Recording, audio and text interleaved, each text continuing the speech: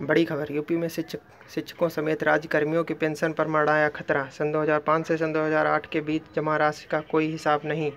CAG की report में सरकार सवाल नहीं दे रही अपना अंशदान।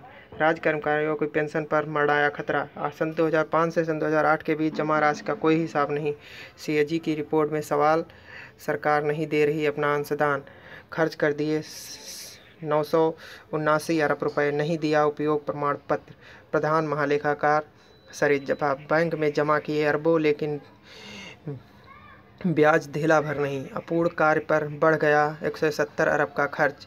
स्वीकृत राशि से अधिक का भुगतान। 30 मार्च को ही जारी कर दिया, दिए तीस चौवन अरब।